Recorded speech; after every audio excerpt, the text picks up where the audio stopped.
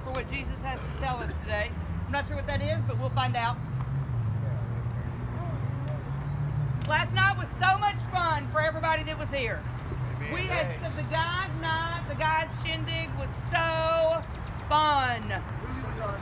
The movie was awesome. The haircuts were great. I mean, we just had so much fun. So for those of you that missed it, we'll have another one next year. Yeah. It was. It really was just so much fun. The food was off the chain, and so um, it was um, a really good time. I loved every minute of it, and we had a full house, and it was just again, just I can't. I mean, you know, it's funny because when we first started two and a half years ago, um, Thanksgiving we came downtown because none of us in our church we had become um, the building we were in where we had our men's halfway house they wanted to sell it we didn't want to buy it. So we became a church without a building and nobody had anything to do on thanksgiving. And so what we decided we would do is we would just make a bunch of sack lunches and some goodie bags and we came downtown. And we at the time folks were still sleeping around the courthouse and the jail. And so um, I, and I over the years had done i used to lead a singles group and we used to go down to unity park a lot and and i had done some stuff on lancaster but i god didn't tell us to go to lancaster. God told us to come over here. And so we came over here and um, met lots of really cool folks and i was talking to a gentleman and he asked he said where's your church? Because i could listen to you. And i said we're actually a homeless church. And the Holy Spirit said, and now you're going to minister to the homeless. And I'm telling you, we have not regretted one moment of two and a half years. Um, I see how God prepared us as a church leading up to this point, but I am here to tell you that United Bible Community is here to serve the homeless. That is who God has called us to. I can't see Him ever changing it because it is such a good fit. Um, you know, he called us originally when we started our church in 2010. He called us to minister to the recovering community because all of our folks had recovered or recovering from something. So, been there, done that. It's really easy to minister to folks in that same avenue. And then a couple of years later, he called us to start a men's halfway house. And it just happened to be that several of our folks had TDC numbers. So that worked out, enabling us to minister in that avenue. And then when God called us here, many of our folks, including my husband and I, have spent some time without a roof. And so um, just really equipped us to share the God's word, share God's word, share his love in a way that connects. Because I don't know about y'all, but I'm not comfortable going into a room full of people in suits. I mean, not that there's anything wrong with people that wear suits, because there is not. But that's not me. Um, I'm not, I'm just, I, I don't relate, I don't connect. And so, in order to relate and connect, it helps when it's someone that's been there, done that, that's walked the same path, that's traveled the same journey, that has had the same kind of story, because there's a relationship there of understanding. There's an opportunity that that gives birth to I can pick up what you're laying down because I know you've been here. I would have a hard time with someone trying to tell me how to get clean that's never used drugs before. Amen. You know, it's they couldn't they can't understand at all what it is to put down whatever that addiction is, to surrender and struggle with the control that that addiction has over you, to struggle with kicking it, to struggle with jonesing, and to struggle with now what do I do with my time, with my hands, with all my spare money, um, etc. So I know why God's called us here, and I am so humbled and so grateful that He has taken us down this path into this place. And you know, I've, I've talked many a time about my testimony and the short version of like how our church began. Um, it'd be real hard. Okay, hear me. It would be real hard for you to understand having a relationship with Jesus if someone that's trying to teach it to you has never walked away from Jesus or lived for self all their life until they came to Jesus. Do y'all know what I mean? Does that make sense? So, because I was the prodigal child for 14 years or more, um, I understand the journey of coming back or even the journey of coming to the Lord for the first time at an older or more advanced stage in life because you got to understand that with every stage in life, there's a history that comes along with it. Right? And all that history, when we've lived for self, when we've walked um, without the Lord, what it does is creates baggage. And, and so we carry a suitcase with us, an invisible suitcase, not the kind that we do carry, but the invisible kind, a suitcase of broken relationships. We carry a suitcase of, of um, times of disappointment and hurt when people have let us down, when people have abandoned us. We carry a suitcase of struggles, of addiction, and, and trying to make it when you just can't. Anybody understand that one? When it just seems like the harder you try, the farther behind you get, and the worse it goes. And then we carry um, a suitcase full of, of, of, of the baggage of rejection and abandonment and ridicule and okay i mean i could go on and on and on and i carried for a long time all these bags with me that i didn't even realize i carried and what it did was it caused me it affected my life in a paramount way, not in a good way. So when I carried, um, okay, I was adopted at birth and by some parents that couldn't have children, and I love my parents. We are in a great relationship now, my mom and I. My father's already with my, uh, my heavenly father. But my mom had this problem that because she couldn't have children, she very much resented me because I wasn't the little girl or the, the daughter that she wanted to have, and I certainly didn't meet the mold that she thought daughters should be. Quiet, very quiet, and and and well mannered, and not loud and boisterous, and not animated, and certainly not with pink hair. I'm telling you, they almost lost their teeth the first tattoo I got. I mean, it was just like, I was not the idea of that. So I had this self talk back in my mind that not only did my biological mother not want me, but my adopted mom didn't want me either. And, and so growing up with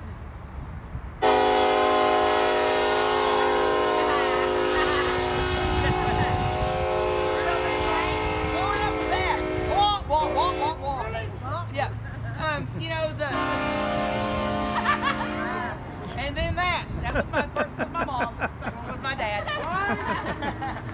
you know, the, the bad self talk, uh, I mean, the bad, the bad words spoken over me that, you know, nobody wants you, you're retarded, retarded kids are smarter than you are, there's something wrong with you, nobody will ever love you, what is wrong with you, uh, you'll never amount to anything, and then throw in the names, you know, slut, whore, drug addict, etc., etc., etc.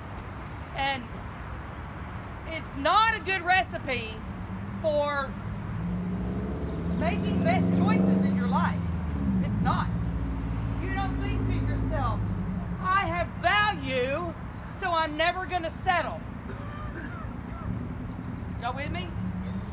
So, with all the bad self-talk and all the things spoken over me and all the baggage I didn't realize I was going to carry and then getting pregnant out of wedlock as a senior in high school really just put the icing on the cake. And um, really made for many, many, many years of bad choices. I looked for answers in the bottom of a black label Jack Daniels.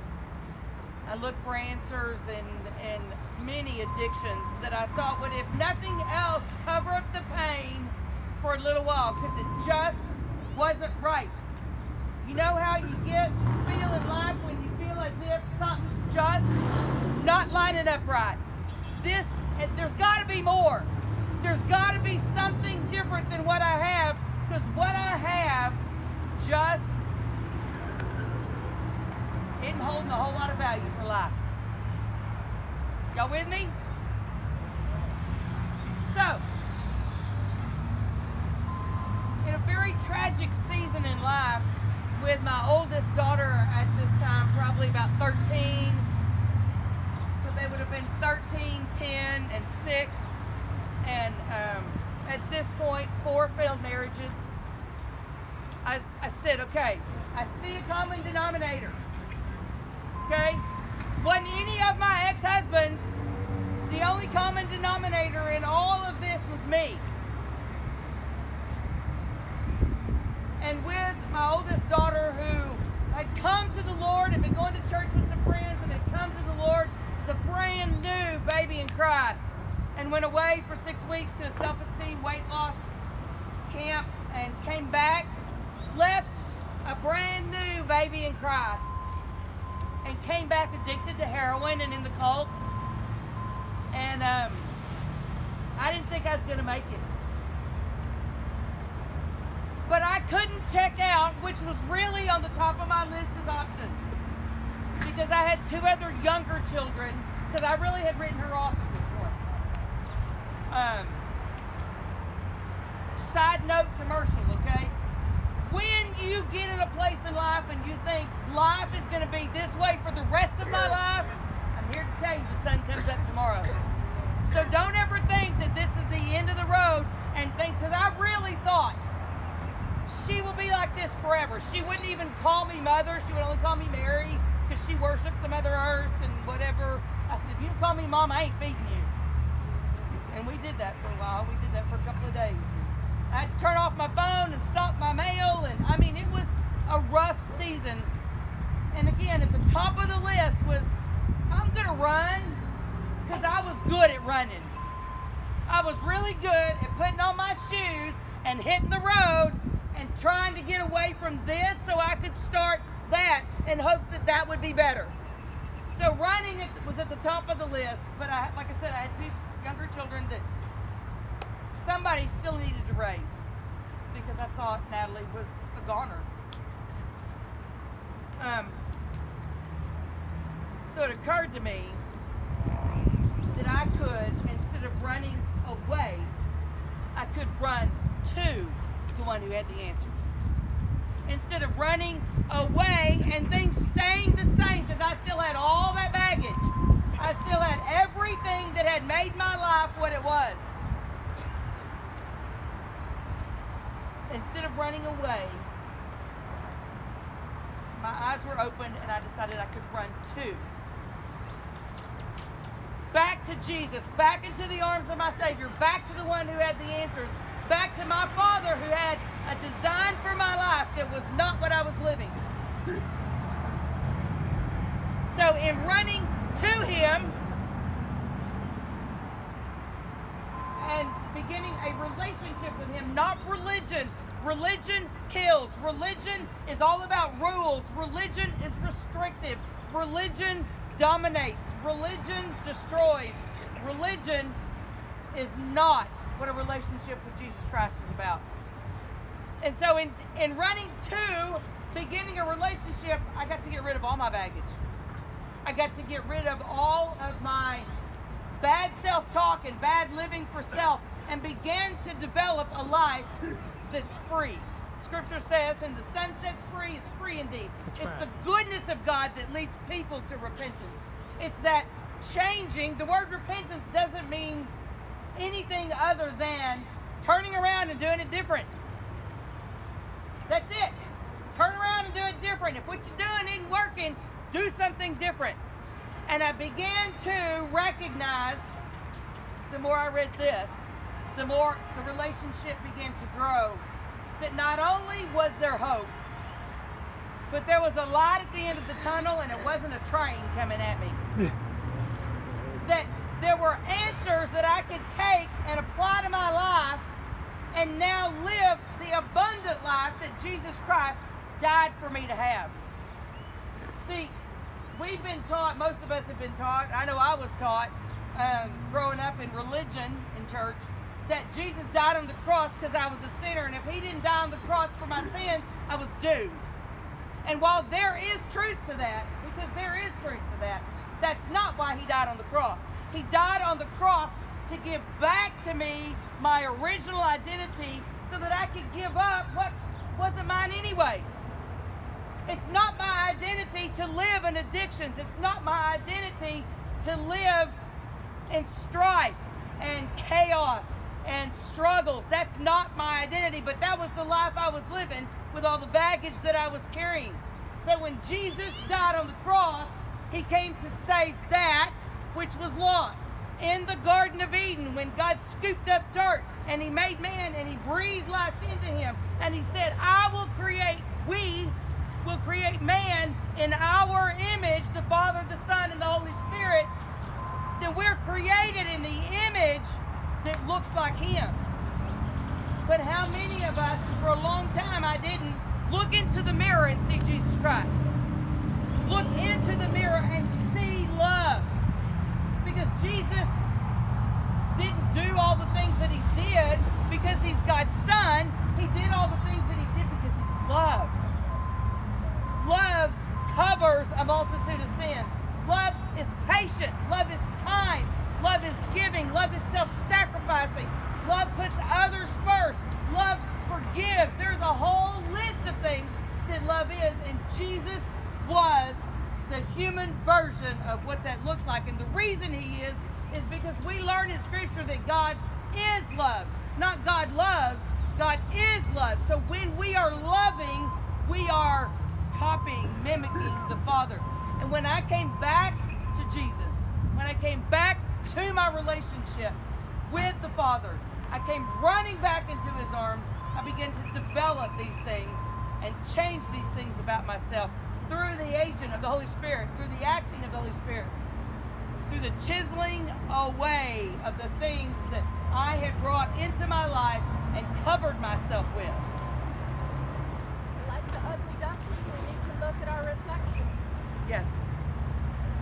Anybody ever stepped in dog doo doo and you're like, Yeah. man, what is that smell? Yes. And and you look around and you even maybe even check the bottom of your shoes and it's like I can still smell it because it gets in the little cracks and crevices of your shoe. And unless you wash those shoes with water or stomp in a mud puddle or something, your shoe's still gonna smell like dog do. You know what I'm saying? So what happens is we live life and step in dog do because that's this world. When Satan was expelled from heaven, when the war in heaven happened and Satan and his minions were expelled, he came here. Actually, he came to the darkness out of heaven. And then when God created the earth and stuff and it became unvoid, then this is his domain. So it's his world, it's his game, it's his rules, and he's always out to get us. John 10 10, it's the thief that comes to steal, kill, and destroy. It's the thief that comes that lays out the doo doo traps for you to step in. And then you step in them because it just happens. Because we're in his territory. And unless you recognize that you've got dew on your foot and you need to wash your shoe and get the dew out of the cracks of your shoe, you're going to walk around smelling like dog doo doo. I smelled like dog doo doo for years because I didn't know it. I didn't understand that when I was taught by the world and adapted myself to living in the world and surviving my addictions and covering up my pain and and and living for self and man, I just you just got no idea what I used to be like. I mean, you got no idea what I used to be like. you may have an you can maybe imagine it, but I am telling you. I know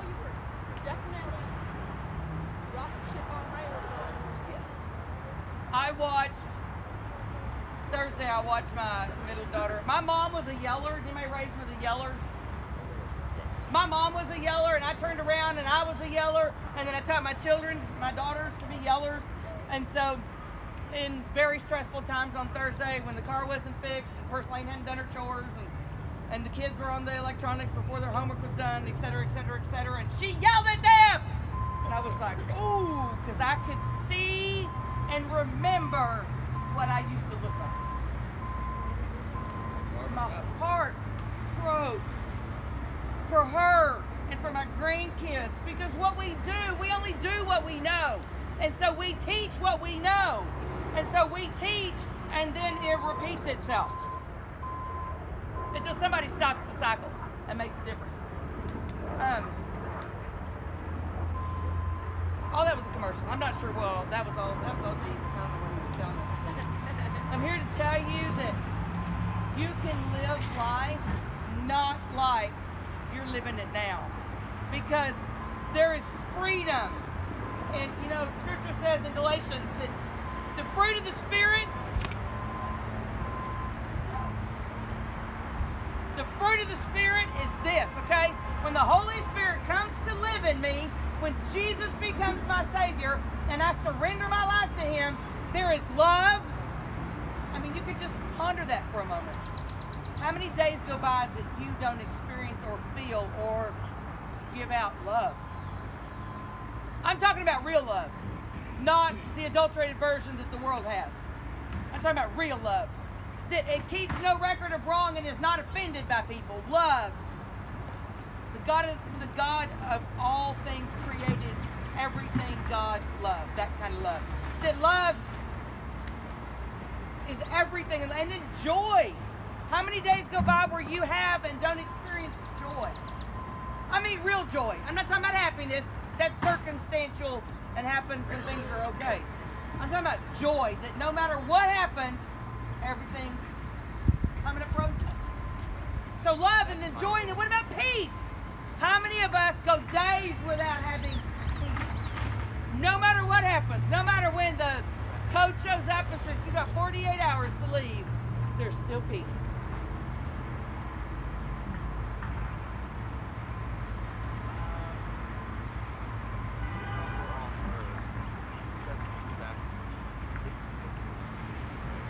No, it doesn't exist among those that are not transformed. And let me tell you why I say it like that. Because, and you're right, you are absolutely right. Because I'm no longer a part of the human race because I have died to self. I'm already eternal. So you could kill me, not you, but don't even do that. But someone could kill me. Someone could kill me, and I would stop breathing. And in this body, I would no longer exist, and I'm just going to go be with Jesus. Scripture says to be absent from the bodies, to be present with the Lord. I'm going to put off this vessel and I'm going to take on another vessel.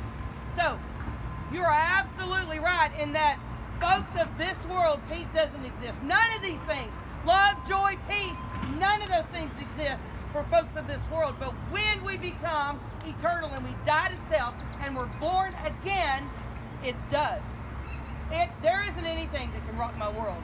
And I say that not in boasting, but I say that in confidence. Not, I'm going to steal this from Todd, okay? It's confidence Because my confidence is rooted in God. Nothing will shake that. There will always be peace. At Darren's doctor's appointment on Friday, the doctor asked him, When did you have a heart attack? And he said, I hadn't had a heart attack. She, she said, Yes, you have. Okay, well, he didn't know it. I didn't know it. We didn't know it and now he's got to do a stress test and blah blah blah blah blah. But does that change anything? I thought I'd be the first to know.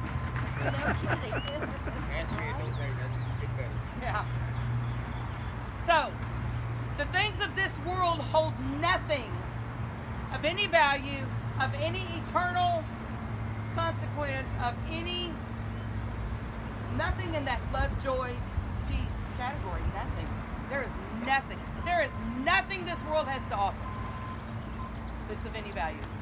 There's a lot of adulterated versions of what God has. For everything God has, Satan has a copy of.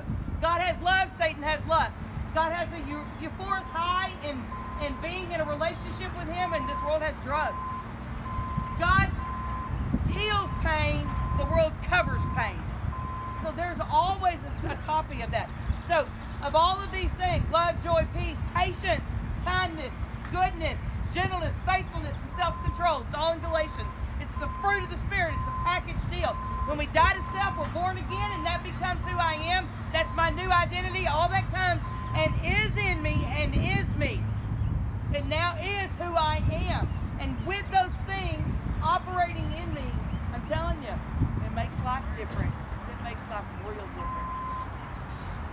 You know, there's um in Luke. We're gonna go here today. Luke um something. Can I say something on that note? Absolutely. You know, everybody is probably familiar with AA and NA and how they say it, it works if you work it. But when you get ready to surrender your life to God and live for Jesus, He's just waiting on you to surrender all of your trash to Him. Not part of it, not the part that you don't think you can handle, not the part that's not working out for you, but all of it. Right.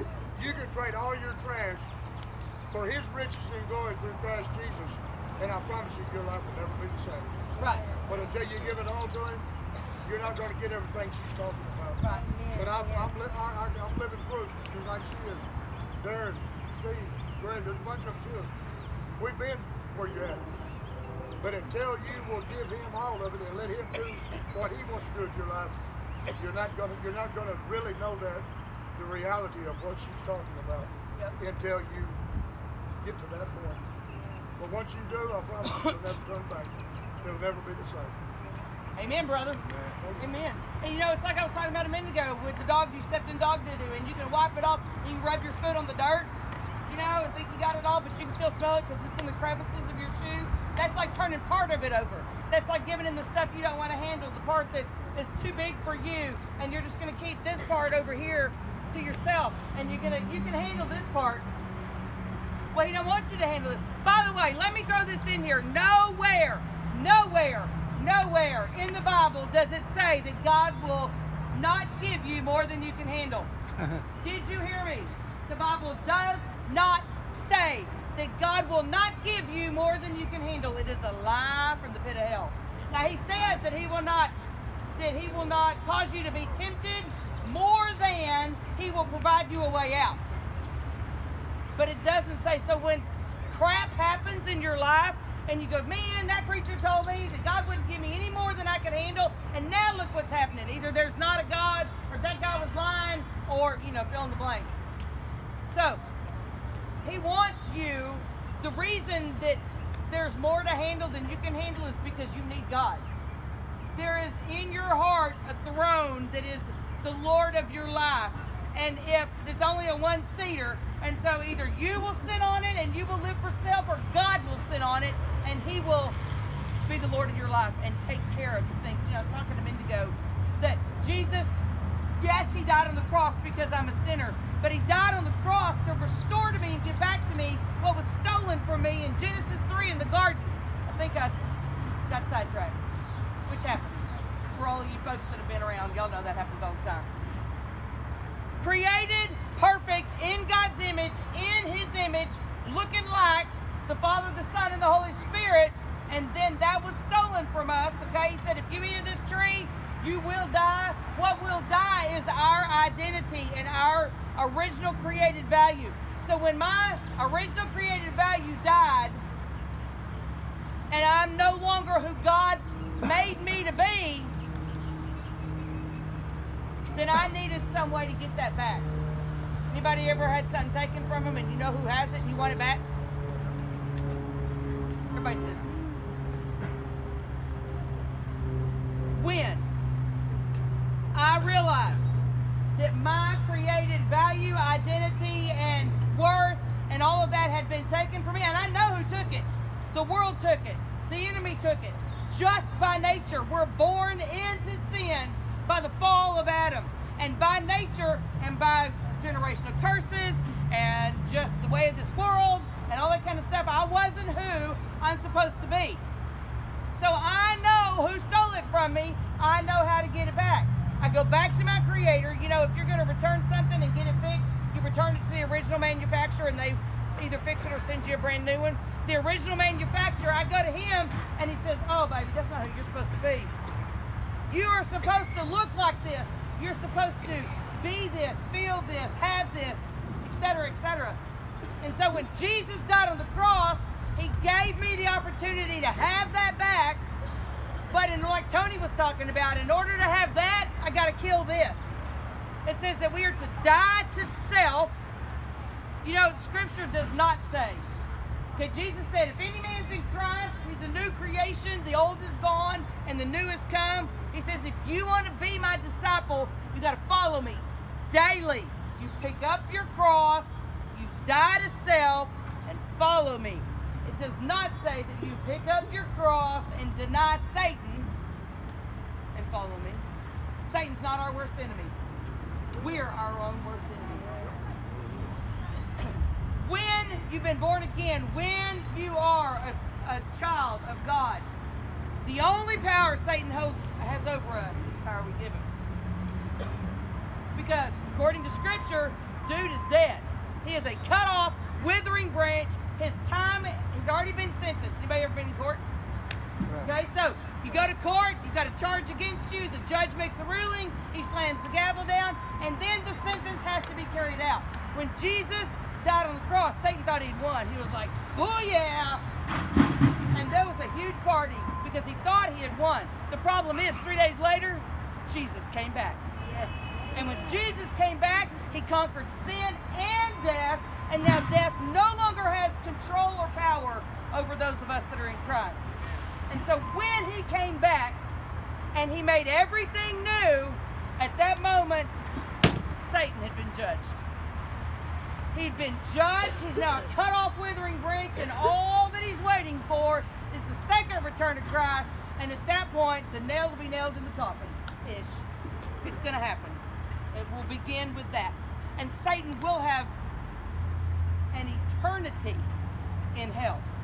Now, commercial. Hell, we call it hell, Sheol is what the Bible calls it, Hades. We get our idea of hell from Dante's Inferno and, and things that have been taught many, many years, hundreds of years over time. Okay? Hell was created for Satan and his minions. It was never God's design that his people, his children, would go there.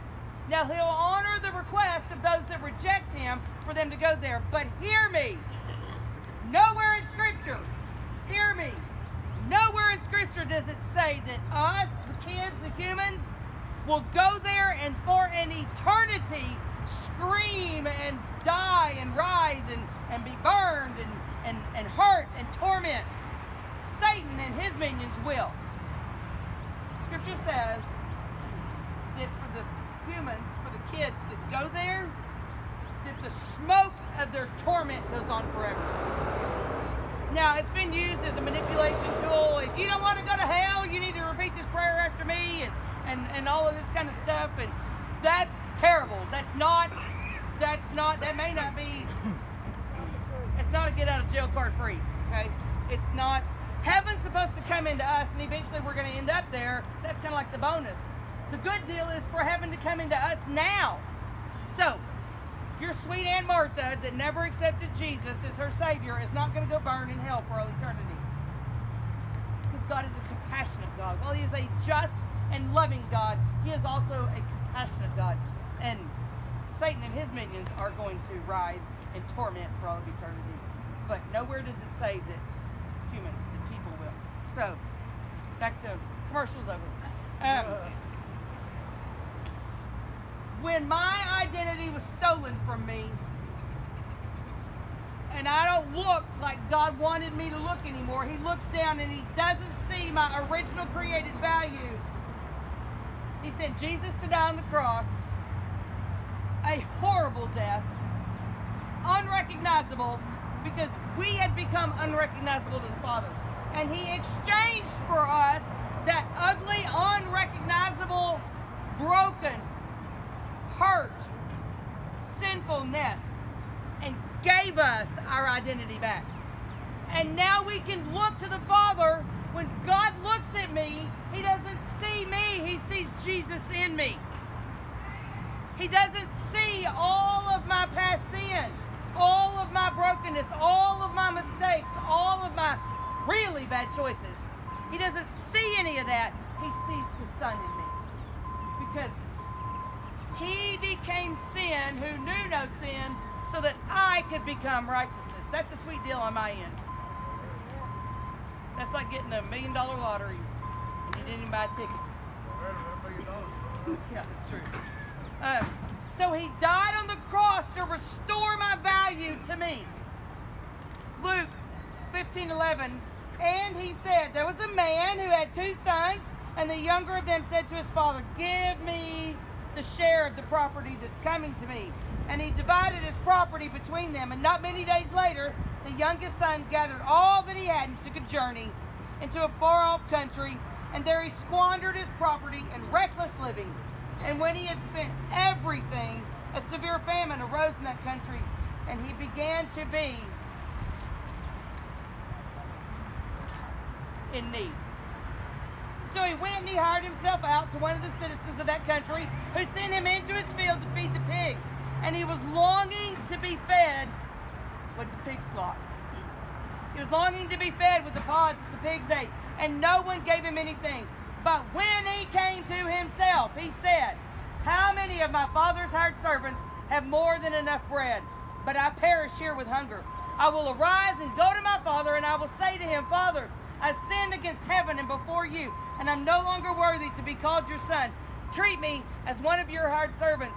And he arose and he came to his father, and while he was still a long way off, his father said to him, His father saw him and felt compassion and ran and embraced and kissed him. And the son said to him, Father, I have sinned against heaven and before you, and I'm no longer worthy to be called your son. But the father said to his servants, Bring quickly the best robe. Bring quickly the best robe and put it on him. Put a ring on his hand and shoes on his feet. And bring the fattened calf and kill it and let us eat and celebrate.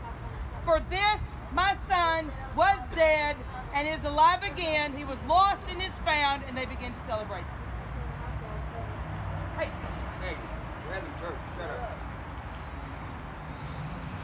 this is us, and it shouldn't be called the story the part of the prodigal son. It should be called the love of the father. Because my value is what was paid for it. Okay, something's only worth what was given for it in monetary value. My life is valuable enough that the Son of God became Son of Man to take my sin away from me. Somebody's going to pay the price for my sin. It'll either be Jesus or me. I pick Jesus because I don't want to do it, and because it's a sweet deal. So this guy had two sons, and one of them said, Dude, Dad, I wish you were dead. Give me my money. And he already had this plan because he took a journey. Now, many days later, he took a journey into a far country. Willful disobedience.